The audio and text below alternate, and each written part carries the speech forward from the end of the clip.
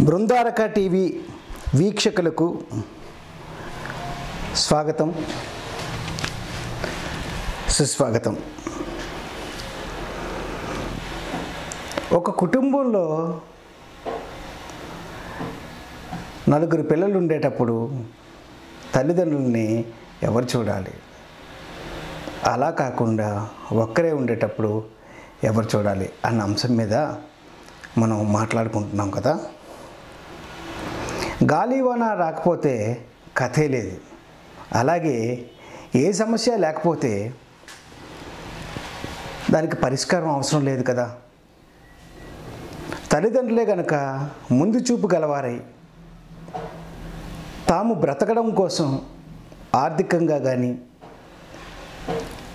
అలాగే వారికి తోడు నీడగా కానీ ముందు చూపుగా మొదటి నుంచి కూడా ఒక ఆలోచన కలిగి ఉంటే కేవలం పిల్లల మీదే కాకుండా వారు స్వయంగా కూడా బ్రతికే అవకాశం ఉంటుంది. పిల్లలే సర్వస్వం అనుకొని తాము సంపాదించిన మొత్తాన్ని పిల్లల కోసమే ధారాదత్వం చేసి రోడ్డున పాలైపోయిన వారు అనేక మంది ఉన్నారు. అయితే దీనికి ఎవరు బాధ్యులు? ఈ తప్పిదం ఎవరిది? ఖచ్చితంగా స్వార్థపూర్వకంగా స్వార్థపూరితంగా పిల్లల్ని పెంచిన ఆ పేరెంట్స్దే ఎందుకంటే ఎక్కడ దేశం మీద కానీ రాష్ట్రం మీద కానీ జిల్లా మీద కానీ ఊరి మీద కానీ తన వీధి మీద కానీ చివరికి తన ఇంటి మీద కానీ ప్రేమ లేకుండా పెంచే ఆ పెంపకమే ఆ పిల్లల్ని అలా ప్రవర్తించేలా చేస్తుంది. వారు తమ పెద్దల్ని తమ రక్త సంబంధికుల్ని గనక ప్రేమగా చూచినట్లయితే తమ తల్లిదండ్రులని గౌరవించినట్లయితే పూజించినట్లయితే ప్రేమించినట్లయితే సాకినట్లయితే వారి బాగోగుల్ని చూసినట్లయితే ఆ పిల్లలు ఖచ్చితంగా తమ పేరెంట్స్కి కూడా తమ తాతలకి తమ నాన్నమ్మ అమ్మమ్మలకి తమ పేరెంట్స్ ఎలా చూశారో వీరు కూడా చూస్తారు. అయితే ప్రతి కోడలు ఒకనాటికి అత్త అవుతుంది. ప్రతి అత్త ఇంతకు పూర్వం ఒక కోడలే. కోడలుగా ఉండేటప్పుడు తను ఒక రకమైన ప్రవర్తనను అత్తగా ఉండేటప్పుడు ఒక రకమైన భావ వ్యక్తీకరణను చేయడం జరుగుతుంది స్త్రీ. ఎందుకు ఈ మాట అన్నానంటే కొంతమందిలాగా ముసుగేసుకొని మాట్లాడడం నాకు చేత కాదు. ప్రతి యుద్ధానికి అది ప్రపంచాల మధ్య కానీ ఇళ్ళ మధ్య కానీ ప్రతి యుద్ధానికి కూడా కారణం కారకులు స్త్రీలే. స్త్రీ కనుక స్త్రీ మాత కనుక తను త్యాగ నిరతితో ఉంటే ఖచ్చితంగా ఆ సంసారం సుఖమయం అవుతుంది. ఎంతో ఆదర్శవంతం అవుతుంది. చిన్నప్పుడు పిల్లలు గనక తప్పు చేస్తే లేదా మారం చేస్తే తల్లి ఆ పిల్లల మధ్య సఖ్యతను కలిగజేసేట్టుగా ప్రవర్తించాలి. నేను చెప్పాను. పెంపకమే ముఖ్య కారణం అని ఈ పెంపకం ఎలా ఉంటుందంటే పెద్దవాడికి తెలియకుండా చిన్నవాడికి ఇస్తున్నట్టు చిన్నవాడికి తెలియకుండా పెద్దవాడికి ఇస్తున్నట్టు లేకపోతే మధ్యవాడు చాలా ఖర్చుదారు అన్నట్లు ఇట్లా ఒకరు లేనప్పుడు ఒకరు వారి గురించి వారి తరుక లోపాలని ఎత్తి చూపడం ద్వారా పిల్లల్లో వారికి తెలియకుండానే వాడు ఎక్కువగా లబ్ధి పొందుతున్నాడు అనే ఆలోచనకి అది నాంది ప్రస్థానం అవుతుంది బీజం పడుతుంది. చాక్లెట్లు ఇస్తూ ఒకరికి తెలియకుండా ఒకరికి ఇవ్వడం అనేది చాలామంది చేస్తూ ఉంటారు పేరెంట్స్. ఇది సరైన పద్ధతి కాదు. అలాగే పెద్దవారు ఎవరైనా తప్పు చేస్తే పిల్లల్ని పిల్లలు ఎవరైనా తప్పు చేసి పెద్దవారికి అది ఫిర్యాదు చేస్తే పెద్దవారు ఆలోచించకుండా ఫిర్యాదు చేసిన వారి మాట విని అవతల వాడిని దబా దబా దబా బాధేస్తుంటారు. ఇక్కడ పిల్లలు మనకన్నా చాలా తెలివి తెలివిగలవారు. కాబట్టి వారు చెప్పేదంతా నిజం కాదు. వారు చెప్పే దాంట్లో నిజం ఎంత న్యాయం ఎంత అప్పటి వయసుకి కూడా వాళ్ళు ప్రవర్తించే తీరులో ధర్మం ఎంత అనేది కూడా బేరీ చేసుకుని వారితో చాలా ఆచితూచి వ్యవహరించవలసి వస్తుంది. అన్నదమ్ముల మధ్య ఏదైనా గొడవ జరిగిందనుకోండి చిన్నప్పుడు. అప్పుడు తల్లి చూడరా రాత్రంతా కూడా మీ అన్న పలానా రోజు నీకు జ్వరం వస్తే నిద్రపోకుండా మెలకువతో ఉన్నాడు తెలుసా? అలాంటి అన్ననే కొట్టావు నువ్వు? అందనుకోండి ఆ తమ్ముడికి ఆ చిన్ననాటి నుంచే ఎక్కడలేని పశ్చాత్తాపం కలుగుతుంది. అలాగే అన్నతో తమ్ముడు లేనప్పుడు ఒరే నువ్వంటే వాడికి ఎంత ప్రేమరా? అన్న వచ్చిన తర్వాతే ఇద్దరం కలిసి తింటాం అని చెప్పి మొన్న నేను మంచి పిండి వంటలు చేస్తే వాడు నీకోసమే నువ్వు కాలేజీ నుంచి వచ్చినంత వరకు లేదా నువ్వు హై స్కూల్ నుంచి వచ్చినంత వరకు కూడా వాడు అలాగే కూర్చున్నాడు రా అంటే ఆ అన్నకి ఎక్కడలేని అనురాగం పొంగుకొస్తుంది.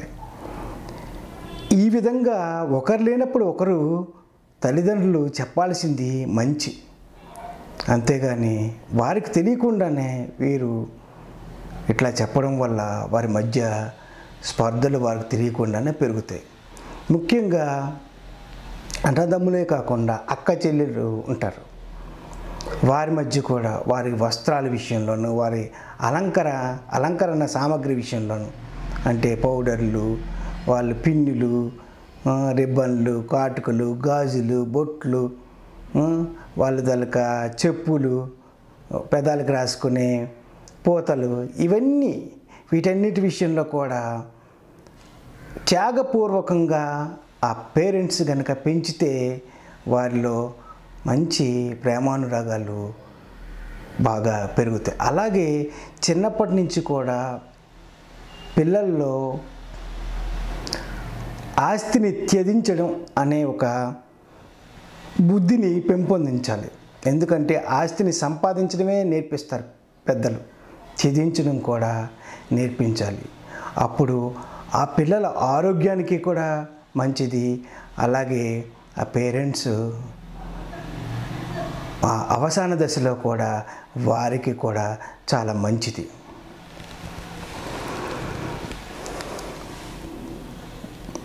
మనం గతంలో చెప్పుకున్నట్టుగానే ఈ పిల్లలుని ఈ పేరెంట్స్ పెంచే ఈ విధానం అనేది సక్రమంగా అయితే వాళ్ళు కూడా చాలా మంచివారు అవుతారని అనుకున్నాం. అలాగే స్త్రీ విషయంకి వచ్చాం మనం.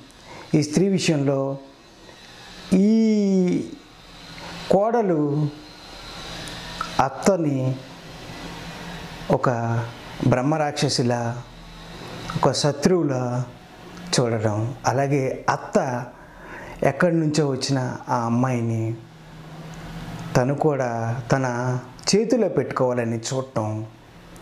ఇవి తప్పు. ఈ రకమైన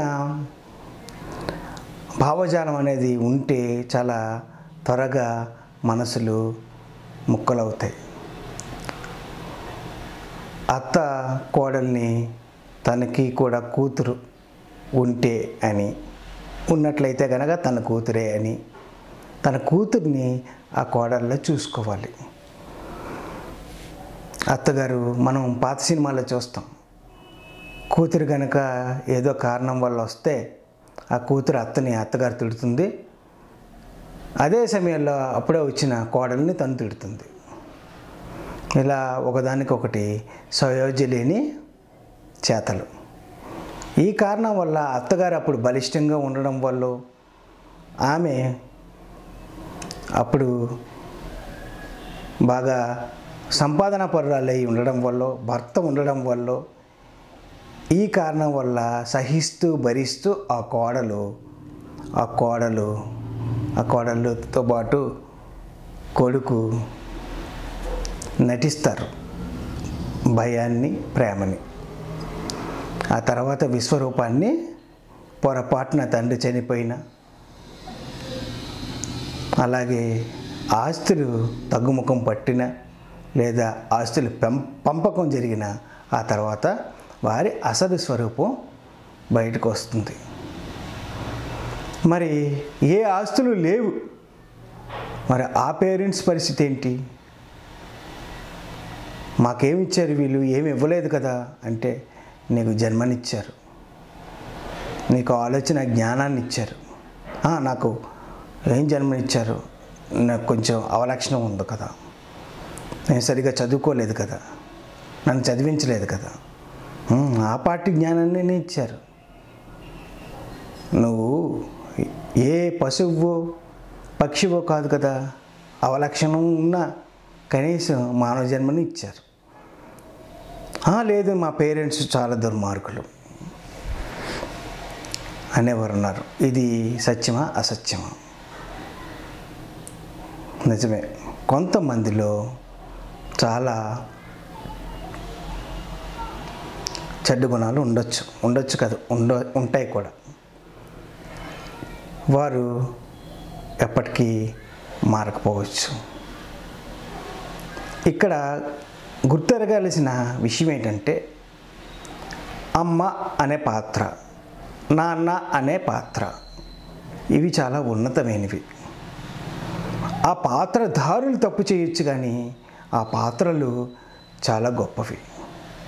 ఇప్పుడు నువ్వు కొడుకు అనే పాత్రని పోషిస్తూ ఈ భూమి మీదకి వచ్చావు. ఈ భూమి మీదకి వచ్చేటప్పుడు నువ్వు ఫలానా తల్లిదండ్రులను కావాలని కోరుకునే వస్తావు. భగవానుడు ఏం చెప్తాడంటే నువ్వు ఇంతకుముందు చేసిన నీ పాప పుణ్యాల చిట్టాలకు అబ్బాయి ఇదిగో వీళ్ళైతే ఇలా ఉంటారు వీళ్ళైతే ఇలా ఉంటారు వీళ్ళ కొంచెం కొడతారు తిడతారు ఏమీ తెలియదు బైతులు మూర్ఖులు పోతే నీ ఆడింది ఆట పాడింది పాట అని ఒకనొక సందర్భంలో చెల్లిపోతుంది. వీళ్ళ వీళ్ళు చాలా కఠినంగా ఉంటారు చివరి దాకా ఎక్కడ ఇంకా ఆటలు సాగవు. ఇక వాళ్ళ వాళ్ళ దగ్గర అయితే ఎలా పుట్టావో అలాగే పోతావు. ఏమీ ఉండదు రూపాయి. ఇట్లా మంచి చెడ్డలన్నీ కూడా బేరీ చేసుకోమని మనకు చూడండి ఏదైనా ఒక సిమ్ కార్డు కావాలిస్తే ఏ నెంబర్ కావాలో నువ్వే ఎంచుకొని ఎలా మన ముందే వేస్తారో అలాగే దేవుడు కూడా నీ పేరెంట్స్ ఎవరు కావాలని నిన్ను ఎంచుకోమంటాడు. నువ్వు ఎంచుకునే ఇక్కడ పుట్టావు.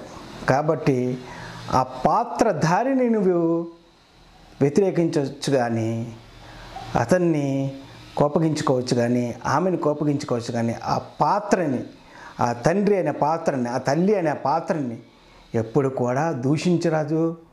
ద్వేషించరాదు. ఎప్పుడు కూడా వారిని దూరం పెట్టరాదు. అయితే వారు మేము తేల్చుకోండి అనే భార్య పిల్లలు అన్నారనుకుందాం. అప్పుడు ఏది శరణం? ఏమిటి గత్యంతరం? అంటే ఖచ్చితంగా ఆ మాట అంటే ఖచ్చితంగా భార్య పిల్లల్ని త్యజించవలసిందే. తల్లిదండ్రులని చూసి తీరవలసిందే. ఎందుకంటే ఆ రకమైన వ్యక్తిత్వం ఉన్న అతడి భార్య పిల్లలు ఎటువంటి పరిస్థితుల్లో రోడ్డున పాలు కారు వారు చెడిపోరు.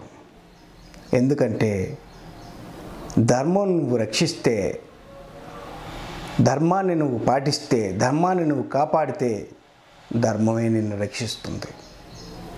ఇది అక్షర సత్యం. వృద్ధాప్యంలో ఉన్న మీ తల్లిదండ్రులని మీరు దూరభారాన్ని ఉంటే ఒక్కరోజు సేవించండి. ఈ కలియుగంలో ఖచ్చితంగా ఆ వారంలోనే మీకు మంచి జరుగుతుంది. ఒక వారం రోజులు మీరు ఎలాంటి కల్మషం లేకుండా ప్రేమానురాగాలతో వారిని చూడండి.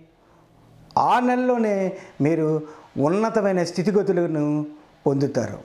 ఒక్క నెల రోజులు కనుక మీరు తల్లిదండ్రులను చూస్తే అదే సంవత్సరంలో మీరు అత్యున్నతమైన స్థానానికి వెళ్తారు మీరు అనుకున్న గోల్ని చేరుతారు. అలా కాకుండా మీరు వారిని విస్మరిస్తే అధోగతి పాలవుతారు. అది ఇప్పుడు కాకపోయినా కానీ రేపు. ఇది తథ్యం. తల్లిదండ్రులని ఎవరైతే చివరి వరకు గనక చూడగలిగితే వారికి ఏ దేవాలయాలు కట్టించాల్సిన అవసరం లేదు. ఏ చెరువులు బావులు తవ్వించాల్సిన అవసరం లేదు. వారు ఇంకొక జన్మని ఎత్తాల్సిన అవసరం కూడా లేదు. ఈ ధర్మాన్ని అందరూ అనుసరించాలి. పేరెంట్స్ వారు ఈ ప్రపంచానికి చెడ్డవారు కావచ్చు. కానీ మనం వారిలో ఎంతసేపు చెడ్డ గుణాలని ఎత్తి చూపించుకొని ఒక ఏదో ఒక రాయి విసిరేసి ఒక కారణం చూపించి వారిని దూరం చేసుకునే ముందు వారు మన కోసం ఎంత తాపత్రయపడ్డారు. ఎంత కష్టాలని నష్టాలని చవి చూశారు. ఎంత త్యాగాల్ని చేశారు అనేది కూడా గుర్తుంచుకోవాలి. ఇవేవీ లేకుండానే తాగి తిని పిల్లల్ని అమ్మేసేందుకు పిల్లల్ని కొదవ పెట్టి వాళ్ళు లబ్ధి పొందిన పేరెంట్స్ కూడా ఉన్నారు. అయినప్పటికీ కూడా అలాంటి పేరెంట్స్ని కూడా మీరు ఈరోజు వారిని చూడగలిగిన స్థితి స్థాయిలో ఉంటే మీరే చూడండి స్వయంగా. చూస్తే మళ్ళీ ఇంకొక జన్మ వారితో మీరు ట్రావెల్ చేసే అవసరం వారికి ఆ అవకాశం ఉండదు. కాబట్టి మనం ఎప్పుడు కూడా సానుకూలమైన దృక్పథంతో ముందుకెళ్ళడం వల్ల మనం తల్లిదండ్రుల తాలూకా రుణాన్ని కొంతైనా తీర్చుకోగలం. అలాగే ఇందాక మనం మొదటి పాటలో సేవకు సేవకుల రుణం. ఆ సేవకుడికి మనం కొంత జీతాన్ని ఇస్తున్నాం జీతాన్ని ఇస్తున్నాము. ఆ జీత జీతాన్ని ఇవ్వడం ద్వారా ఆ అర్ధ దానం ద్వారా నేను కొంతవరకు నేను అతని రుణాన్ని తీర్చుకుంటున్నాను కదా అనుకుంటే అది నిజమే. కానీ అంత నిజం కాదు. ఎందుకంటే ఆ సేవకుడిని కూడా మనసులో మాత్రం నీ పక్కన కూర్చోబెట్టలేకపోయినా నీ పక్కన పరుండు పెట్టలేకపోయినా నువ్వు తాగే పాత్రలో ఆయనకి ఇవ్వలేకపోయినా నువ్వు తిన్నదే ఆయనకి పెట్టలేకపోయినా అతన్ని ప్రేమగా చూసినట్లయితే అదే అతనికి నువ్వు ఇచ్చే గొప్ప బహుమతి ఆ విధంగా అతని రుణాన్ని తీర్చుకునే అవకాశం ఉంది. అలాగే అతనికి అతని కుటుంబానికి ఏదైనా అవసరం అనిపిస్తే ఆదుకుంటే అప్పుడు ఆ యజమాని తలక గొప్పతనాన్ని అతను తెలుసుకొని అతను ఎంతో కృతజ్ఞత కలిగి ఉండడానికి వీలుంటుంది. ఇక్కడ ఒక చిన్న కథ చెప్తాను. ఒక యజమాని చాలా మంచివాడు. అతను తన దగ్గర పనిచేసే సిబ్బంది అంతని చాలా ప్రేమగా ఆప్యాయత అన్నరాగాలతో చూసేవాడు. వారి మంచి చెడ్లన్నీ కూడా చూసేవాడు. అయితే ఆయన అతి మంచితనం వల్ల అందరూ అతన్ని మోసం చేసేవారు. అతను భవనాల్ని నిర్మించి అమ్మే ఒక వ్యాపారాన్ని రియల్ ఎస్టేట్స్ అంటారా లేకపోతే బిల్డింగ్ కన్స్ట్రక్షన్ అంటారా ఆ వ్యాపారాన్ని చేస్తుండేవాడు. అతని దగ్గర ఉన్న సిబ్బంది ఇతను చెప్పే విలువలతో కాకుండా నాణ్యం లేని విలువలతో బి బిల్డింగ్లు కట్టడం. అలాగే ఆయన చెప్పిన పద్ధతిలో కాకుండా వీరు వారికి నాలుగు డబ్బులు మిగిలే పద్ధతిలో బిల్డింగ్ని నిర్మించడం కింద స్థాయి ఉద్యోగులు చేస్తూ ఉంటారు. వారందరికీ నాయకుడు ఇతను బాగా నమ్మే ఇతని కుడి భుజం లాంటి ఒక పర్సనల్ అసిస్టెంట్ అంతరంగికుడు. అయితే ఆయన మంచితనం వల్ల ఇక్కడి సిబ్బంది వైఖరి వల్ల ఈయన వ్యాపారం బాగా కిందకు వెళ్ళిపోతుంది. ఈయన బాగా పతనమైపోతాడు. అయితే మొత్తం అందరూ కూడా ఎవరికి వారు తట్టాబుట్ట త- సర్దేసుకొని అందరూ ఉద్యోగులు కూడా వెళ్ళిపోతారు. ఈ పిఏ గారు మాత్రం ఈయనతో ఉన్నాడు. ఆయన కూడా రేపు మాపు వెళ్ళిపోదామని ఉన్నాడు ఈయన కూడా. కానీ వెంటనే వెళ్ళిపోతే బాగోదు కదా. కోట్ల మీద తిన్నాను. ఈ విషయం ఈయనకి కూడా తెలియదు. చాలా జాగ్రత్తగా రహస్యంగా ఉంచుకున్నాను అని ఎక్కడో ఏదో మూలన ఉందేమో ఆయన ఆయన ఎప్పుడు వెళ్ళిపోమంటే అప్పుడు వెళ్ళిపోదాం అని ఉన్నాడు. ఈయన ఆయన్ని పిలిచి నాయనా నేను నా జీవితంలో ఒక చివరి బిల్డింగ్ని నిర్మిద్దాం అనుకుంటున్నాను. దానికి ఎంత అవుతుంది? ఎస్టిమేషన్ ఇవ్వు అన్నాడు. ఆ అంచనా వ్యయ పట్టికని ఈయన ఇచ్చాడు. చూస్తే అందులో ఒక కోటి రూపాయలని ఉంది. ఇతను అప్పు చేసి మరీ కోటి రూపాయలతో ఆ బిల్డింగ్ని ఇది బాగా నిర్మించాలి చాలా బాగుండాలి నాకు నచ్చాలి అన్నాడు. ఓహో నేను వెళ్ళిపోతూ వెళ్ళిపోతూ ఈయన పతనం అయిపోయే చివరి దశలో ఇది నాకు చివరి ఆదాయం అన్నమాట అని అనుకొని ఉన్నంతలో ఆ- ఆయన తీసేసినా నేను వెళ్ళిపోవాలి కదా అని ఉన్నంతలో బాగా తక్కువలో ఒక అంతవరకు కూడా సగాను సగం దోచేస్తే ఇప్పుడు మూడొంతులు దోచేసి పాతిక లక్షలకే ఆ భవనాన్ని నిర్మించాడు. అయ్యిందని ఆయన అయ్యింది చూశాడు. చూసిన తర్వాత అన్ని గోడల్ని తలుపుల్ని వాటన్నిటిని చూసి ఓ కోటి రూపాయలతో ఇలాగే నిర్మాణం అవుతుందా? సరే అని వెరుబాగులాడు కదా. ఆ తాళాల్ని ఆ పిఏ చేతిలో పెట్టాడు. ఇదేమిటంటే నా చేతిలో పెట్టారంటే? వీడేమనుకున్నాడంటే పిఏ అప్పు చేసి మరి ఈయన ఈయన కోసం నిర్మించుకున్నాడేమో అనుకున్నాడు. కానీ అది నాయన ఈ బిల్డింగు నీ చేతుల్లోనే. అందరూ కూడా తట్టా బుట్ట సర్దేసుకొని వెళ్ళిపోయినారు. కానీ నిన్ను వెళ్ళమనడానికి నాకు మనస్కరించట్లేదు. నా దరిద్రం నీకు అబ్బెట్టుగా ఉంది. కాబట్టి ఈ బిల్డింగ్తో నువ్వు జీవించు నన్నే నమ్ముకున్నావు అని ఇచ్చాడు. కాబట్టి ఒక గొప్పవాడైన యజమాని అలా ఉంటాడు. కానీ యజమాని సమర్థుడు కాకపోతే కనుక అలాగే పతన స్థితికి వెళ్తాడు. కాబట్టి ఇక్కడ పేరెంట్స్ని ప్రేమించే పిల్లలు చాలా సమర్థవంతంగా వారి పెద్దవారైనప్పటికీ కూడా వారికి ఊహ తెలిసినప్పటి నుంచి కూడా పెద్దవారు కనుక ఏదైనా వారు సరైన పద్ధతిలో మాట్లాడకపోయినా అది అధర్మం అనిపించిన దాన్ని అసత్యం అనిపించిన దాన్ని నిర్మోహమాటంగా ధైర్యంగా చెప్పేందుకు సిద్ధంగా ఉండాలి. చిన్నప్పటి నుంచి అదే రకమైన ఆలోచన సరళత ఉండాలి.